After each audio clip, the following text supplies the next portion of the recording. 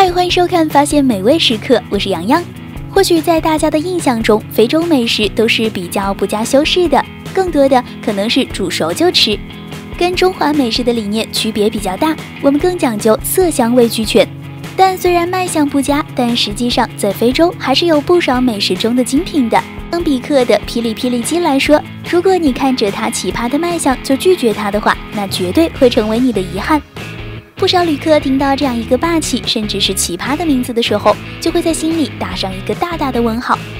其实，在莫桑比克这里作为非洲著名的旅游度假胜地，它的美食与它的阳光海滩同样出名。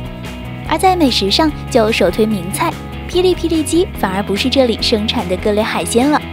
这就能从侧面说明这道菜在这里的地位以及它在人们心中的美味程度了。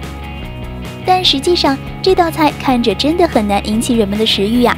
表面烤得焦焦的，甚至不仅仅是皮，连肉都有点烤过了。而对于中国人来说，我们吃鸡一般都讲究鲜嫩本味，白切鸡、盐焗鸡、大盘鸡等等，无一不是鲜嫩的代表。但如果你了解过霹雳霹雳鸡的做法，你或许可以理解这是它为何如此受欢迎。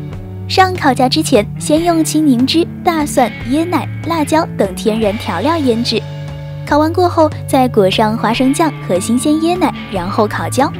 可以说，其实表面看着黑黑的，被烤焦的那一层都是那些天然调料，香味伴随着焦味升华。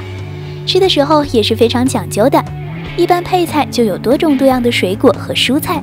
如果你觉得味道不够重，还可以蘸花生酱或者椰奶酱。